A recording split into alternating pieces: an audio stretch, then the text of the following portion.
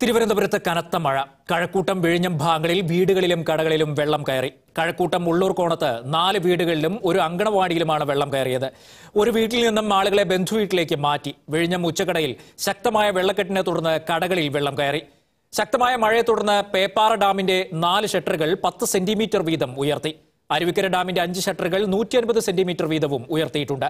ഇരു ഡാമുകളിലെയും കരകളിൽ കരകളിൽ താമസിക്കുന്നവർ ജാഗ്രത പാലിക്കണമെന്ന് ജില്ലാ കളക്ടർ അറിയിച്ചു.